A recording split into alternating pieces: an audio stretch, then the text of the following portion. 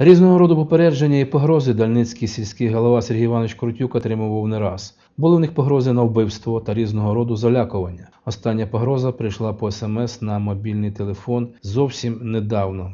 Злодії на цьому не заспокоїлись, і ось в четвер, білим днем, коли всі працівники сільради знаходились по своїх робочих місцях, злочинці облили запальною речовиною автомобіль голови сільради і підпалили його. Авто зазнало серйозних пошкоджень, а злодії зникли з місця події.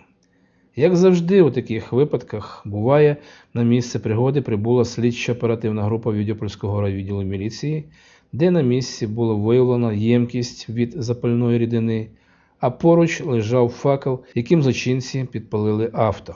Працівники Відьопольського сектору з надзвичайних ситуацій констатували, що це був навмисний підпал автомобіля. Голова Дальницької сільської ради Сергій Іванович Крутюк розцінює цей випадок намаганням залякати його і не виставляти свою кандидатуру на наступних виборах до місцевих рад, які мають відбутися у жовтні 2015 року.